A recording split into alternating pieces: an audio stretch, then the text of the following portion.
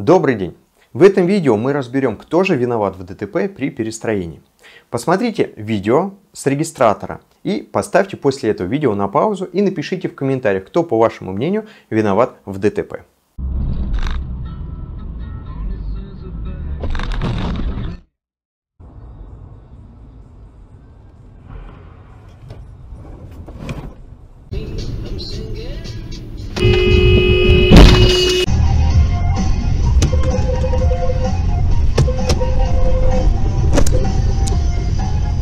Итак, разберем по пунктам.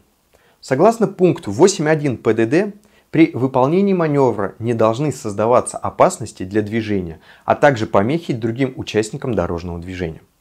Согласно пункту 8.4 ПДД, при перестроении водитель должен уступить дорогу транспортным средствам, движущимся попутно без изменения направления движения.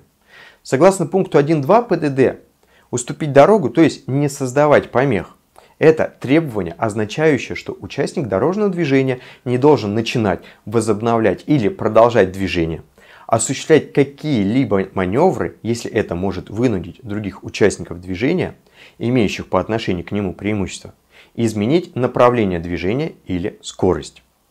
Таким образом, правильный вывод о том, что неважно, успел ты закончить маневр или нет, важен сам факт создания либо не создания дорожно-транспортной ситуации, при которой другим участникам движения придется применить торможение или изменить траекторию движения.